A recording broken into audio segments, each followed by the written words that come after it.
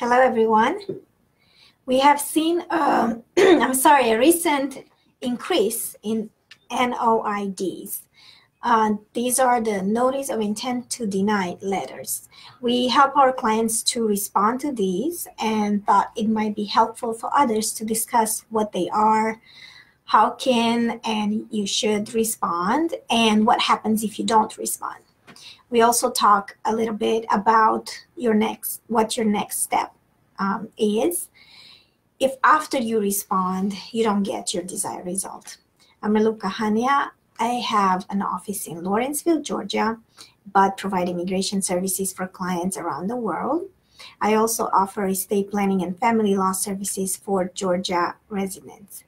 Nina Clear, my marketing and office manager, is here with me, and we thank you for all your shares, likes, and comments as they help others to see our videos, and we really appreciate your support. You mentioned what an NOID is but can you tell us that again? Sure. An NOID is a notice of intent to deny. And who would send you one? USCIS sends them. So many times when people get one, they call our office totally freaked out. you're panicking. What is your first piece of advice if someone gets one? Well, first, don't panic. Actually, you should see it as a positive thing that you didn't receive an outright denial. So you receive them NOID. And uh, so you said that you should see it as a positive thing that you received it or didn't get a de- denial. Mm-hmm. Tell us a little bit more about that. Well, we also did a video about this previously, but with the new USCIS policy uh, since July, I think 2018, they don't need to see to send an NOID or a request for evidence. They can just deny your entire application. So getting an NOID is a good thing. Well, it's not a bad thing because it means that they haven't denied you yet. So you have a chance to prove that you do have a bona fide marriage, for example. And is that what an NOID does? It's asking you to prove like you have a bona fide marriage or whatever else they're sending it for.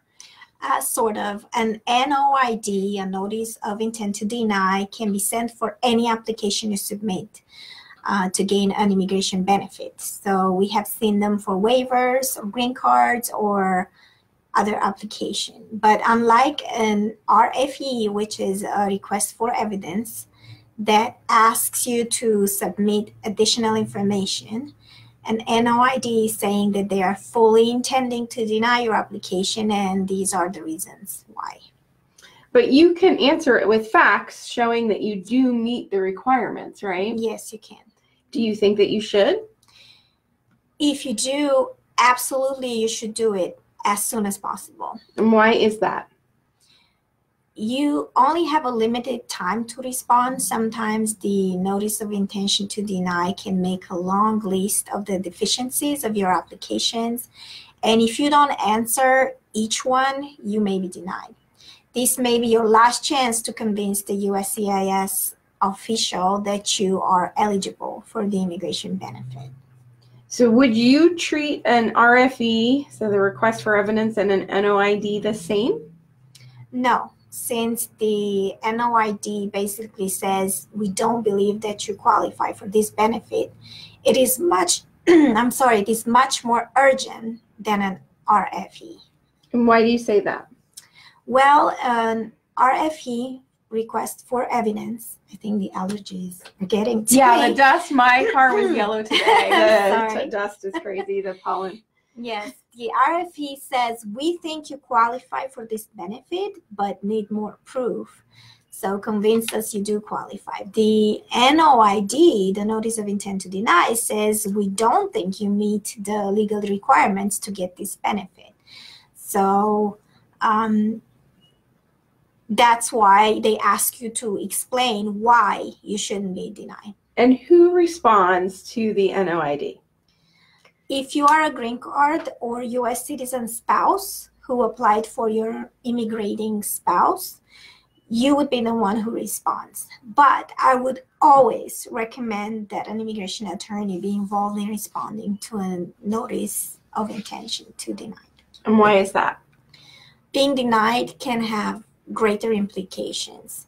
Plus, since USCIS is saying we don't think you meet the legal requirements for this immigration benefit, an attorney can submit a legal argument along with all the other required evidence explaining why you do. And you said that you have a limited time to respond. Do you know what that is?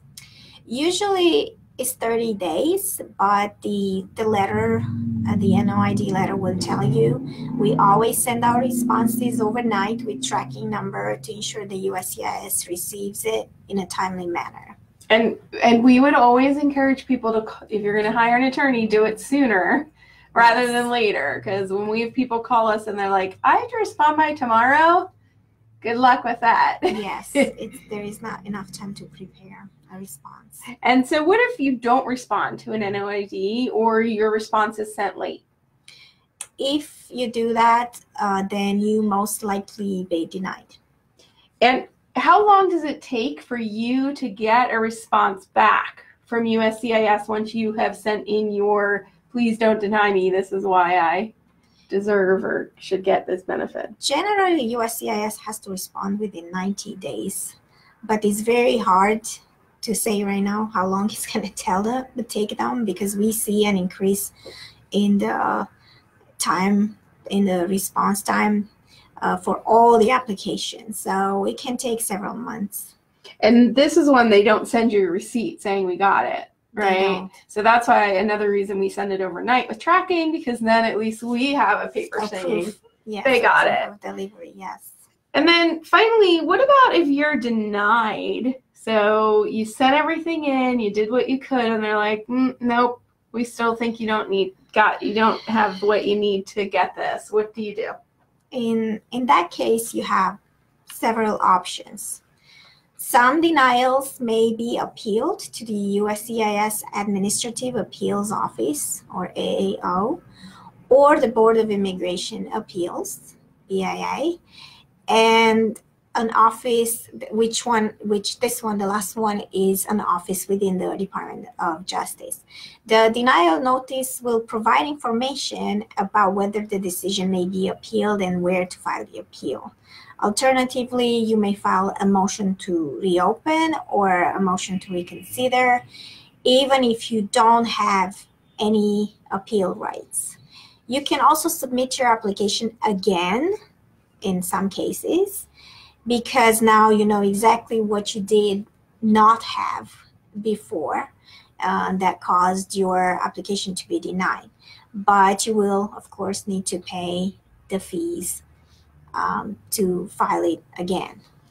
If you are denied, I suggest you discuss your options with an immigration attorney. Thank you so much for watching today and for all your likes and comments and shares. If you have any questions, please reach out to us. We are always here to help. See you tomorrow.